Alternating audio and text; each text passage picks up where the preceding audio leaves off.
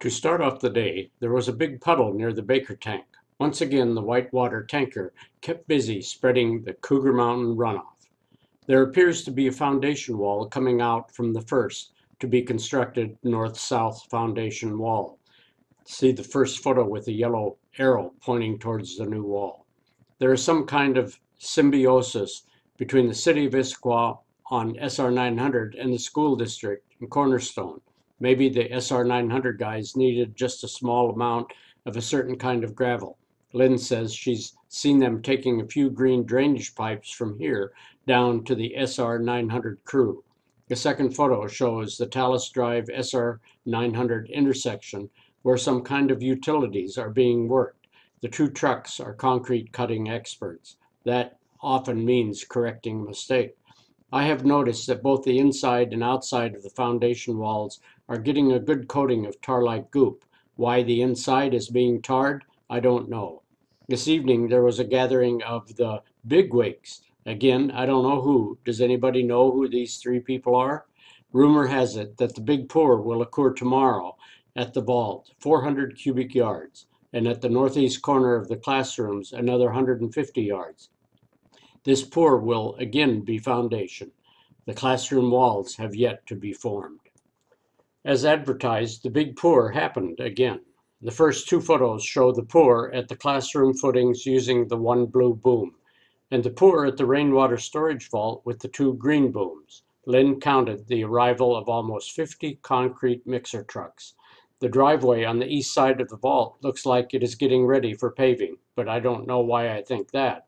This project has a long way to go, till fall 2021, before anything is paved. Things were back to normal this morning. The Raptor excavator was back doing one of its favorite things, breaking up boulders or large lumps of old concrete. Look closely at the head in the first two photos. The third picture is of the new stormwater vault. The forms were peeled off like a new bug coming out of its chrysalis. Other happenings include the second Baker tank being removed from the site. Could it be that the vault is that close to being operational? The orange Hitachi excavator also left the premises today. It had been there since day one.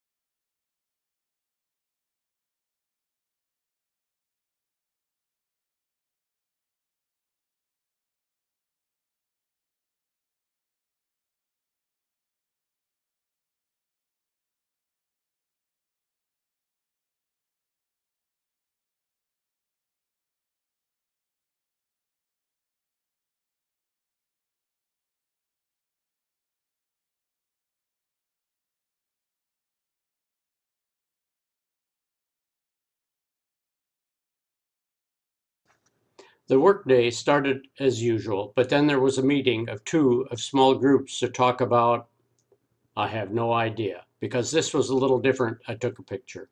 The second picture is included here just because there are two workers who appear to be standing on one leg. Zoom in. The third picture is the new rainwater vault. It is getting a roll of tar paper wrapped around it. That's to prevent water from getting inside. Wait a minute. That's what it's there for. It's there to collect storm water. The fourth picture is of one of the form panels being hoisted into place. It may have come from use on the vault. I was happy to see the forms for the bus lane curbs put in place today. That's the last of the five picks. If the curb forms are in place, can the street or driveway lanes be far behind? Hope not. We were happy to see the curb forms being put in place late yesterday. We were even happier to see them come right in and pour the concrete into the forms most of the day. The forms came off this afternoon. I had the urge to go down and carve my initials in the still moist concrete. Another first today was seeing the two halves of the classrooms building start to be joined by the straight line of footings. The arrows in the second photo indicate a line of footings going from the north to the south. There will no longer be any driving of vehicles through this area. The second photo is a good shot of the curb crew in action, making the solid curb and gutter out of almost nothing. I could not resist taking a picture of the curbs and gutter crew in action.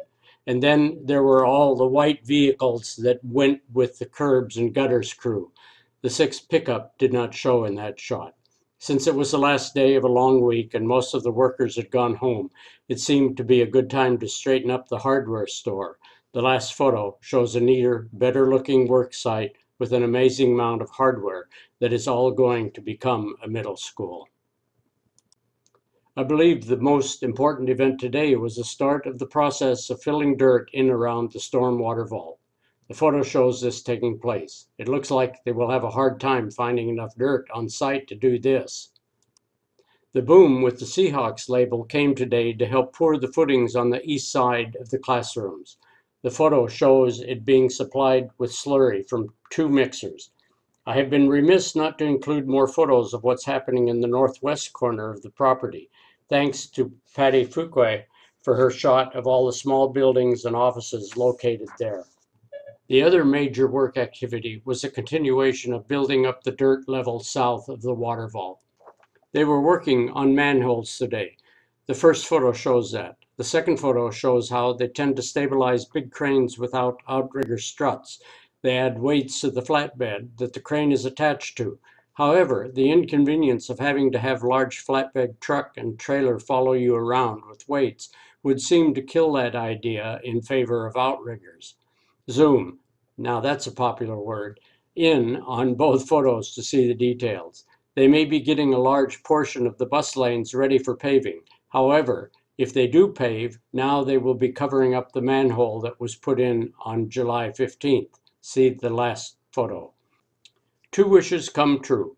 I wish that the bus lanes would soon be paved and that the stormwater vault storage would get a roof. The pre-paving was soon started, but sort of fizzled out.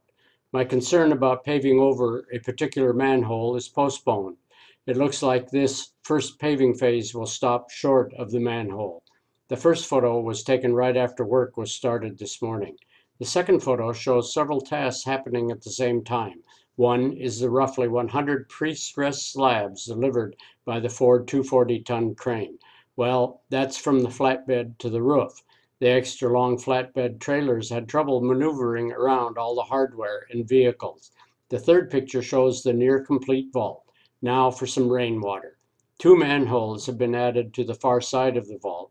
Incidentally, there is now a very small creek going from under the bus lanes off to the south. The fourth photo shows the crane all folded up and headed out after quitting time. It reminds me of a mobile medium-range ballistic missile on a transporter. That's from back to the Minuteman days at Boeing.